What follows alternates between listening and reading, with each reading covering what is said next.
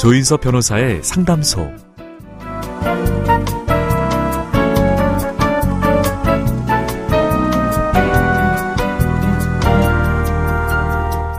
사랑을 알게 되는 나이에 삐져나온다고 해서 붙여진 이름 사랑니. 사랑니는 인류 진화 과정 중에 우리 몸에 남은 흔적이라고 합니다. 대부분의 사랑니는 입안의 염증을 유발해서 빼내야 하지만 어떤 사랑니는 그대로 둬도 괜찮다고 하네요. 사람이 앞으로 나아가는 과정도 비슷하지 않을까요? 그대로 갖고 가도 되는 것도 있고 과감하게 정리해야 하는 것도 있을 겁니다. 오늘도 당신의 편이 되겠습니다. 조인석 변호사의 상담소 지금 문을 열겠습니다.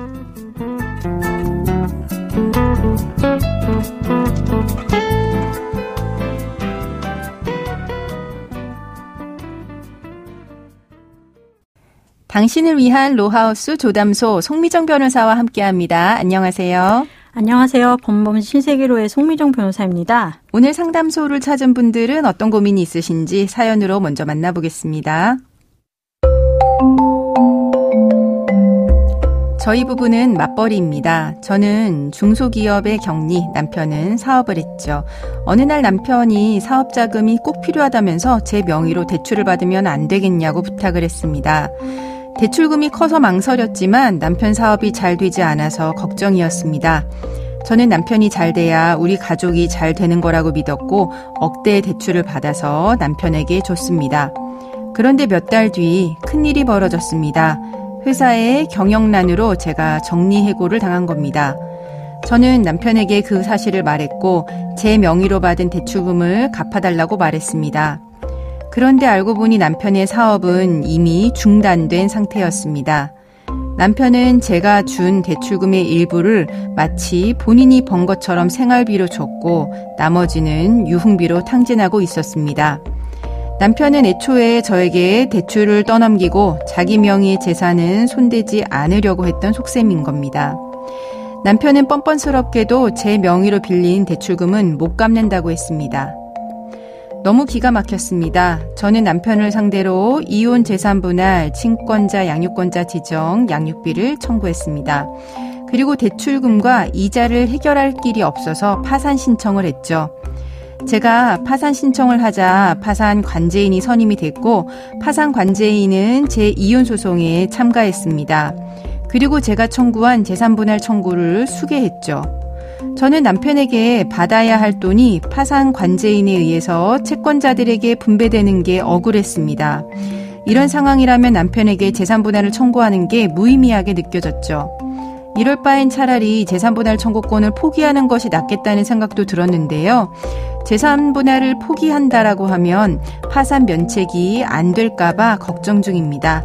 저는 어떻게 하면 좋을까요?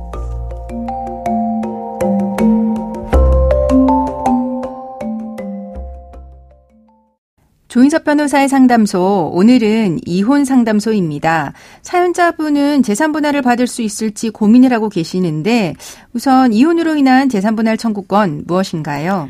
네, 이혼을 한 부부 중 한 명이 다른 한 명에게 혼인 기간 동안 형성한 재산의 분배를 청구할 수 있는 권리입니다. 네. 그리고 재산분할 청구권의 행사가 당사자들의 재산에 영향을 미치는 것은 사실이지만 법원은 재산분할 청구권의 순전히 재산법적인 행위랑은 조금 다르게 보고 있습니다. 네, 그러면은 재산분할 청구권은 다른 재산권과 좀 다른 특징이 있는 걸까요? 네, 그 재산분할 청구권은 내 몫의 재산을 확보하기 위해 행사하는 것이지만 네. 청구를 하지 않으면 하지 않으면 내 몫이라는 것을 인정받을 수 없습니다.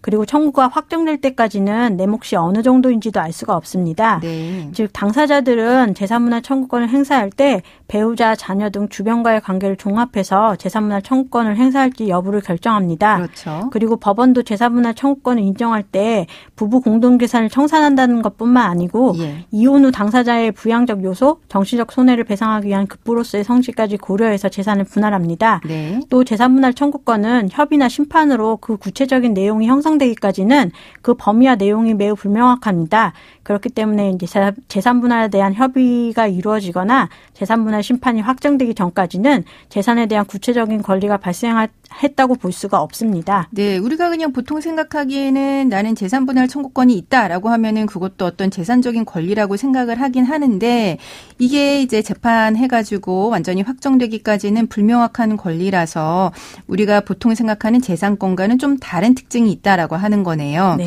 그러면 이런 재산 분할 청구권 파산을 한다고 할 때 이제 채무자의 책임 재산에 포함이 될 수가 있을까요? 네, 그 확정될 때까지는 구체적 권리가 발생했다고 볼 수 없는 재산 분할 청구권의 특성 때문에 아직 확정되지 않아 구체화되지 않은 재산 분할 청구권은 채권자가 집행을 할 수 있는 채무자의 책임 재산에 포함된다고 보지 않습니다. 네. 이렇게 확정되지 않은 재산 분할 청구권은 처음부터 재산 어, 채무자의 책임 재산에 포함되지 않기 때문에 재산 분할 청구권을 행사하지 않는 것이 채무자의 재산 상태를 악화시킨다고 볼 수도 없습니다. 네. 하지만 그 행사할 수 있는 재산 분할 청구권을 행사하지 않고 있다라고 하면 다른 채권자들한테 사실 손해가 되는 거잖아요.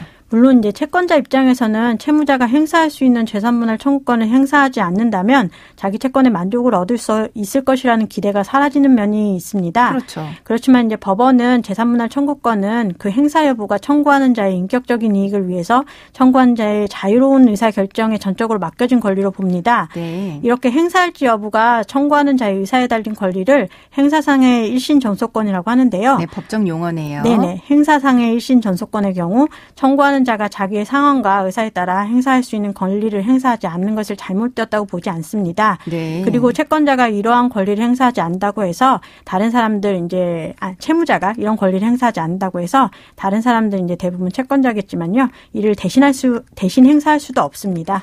네, 그러면 이제 확정되지가 않은 재산 분할 청구권을 이제 파산 이제 신청할 때 파산 재단에 포함시킨 거 이거는 맞는 걸까요?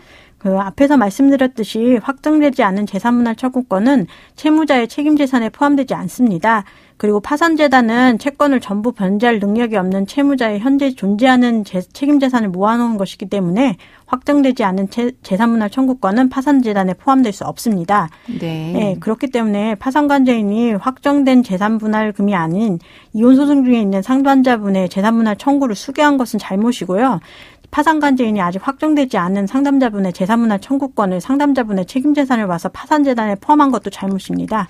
네, 그렇군요. 좀 복잡합니다. 네. 네. 그러면은 이제 상담자분은 어 지금 이제 이혼 소송 중이고 이제 재산 분할 이제 청구를 했는데 또 파산도 같이 진행을 하고 계세요. 근데 이제 내가 재산 분할 청구를 했다가 이거를 포기하면 파산 면책이 안 될까 봐 지금 걱정하고 있는 상태입니다. 네. 이 재산 분할 청구권에 포기하는 거 이거 면 면책이 안 되는 사유에 해당하는 걸까요? 음, 확정되지 않은 재산분할 청구권은 파산재단에 속하지 않기 때문에 네. 재산분할 청구권을 포기했다 하더라도 이는 채무자가 채, 책임재산을 은닉하거나 일부러 파산재단에 포함시키지 않은 것이 아닙니다. 네. 그, 렇기 때문에 특별한 사정이 없는 한은 상담자분께서 재산분할 청구권을 포기한 것 때문에 파산 면책이 불어되지는 않을 것입니다. 네. 그리고 재산분할 청구권을 행사할지 여부도 상담자분의 자유이기 때문에 재산분할 청구권을 행사하지 않았다는 것도 파산 면책이 불어되는 사유가 되지는 않습니다. 네, 그럼 사연자분이 나는 재산 분할 뭐 안 받겠다라고 하는 거 아무 문제가 없는 거네요. 네. 그러면 음. 만약에 사연자분께서 이렇게 재산 분할 포기하면 남편 명의로 된 재산 모두 그냥 그대로 남편 소유가 되는 걸까요? 그렇죠. 이혼하면서 이제 재산분할 청구권을 포기한다고 합의를 하거나 이혼한 후에 재산분할 청구권을 2년 동안 행사하지 않으면 상대방에게 재산분할을 청구할 권리가 사라지게 됩니다. 그 결과 이제 남편분 명의 재산은 남편분에게 완전하게 귀속되게 됩니다. 네, 어떻게 생각하면 사연자분이 좀 억울하기도 한데 그래도 이제 네, 파산하는 상황에서 재산분할 청구권 포기하는 게 문제가 되지는 않는다라고 하니까 그 부분 이제 잘 알고 계시면 될 것 같습니다. 네, 지금까지 송미정 변호사와 함께 했습니다. 감사합니다.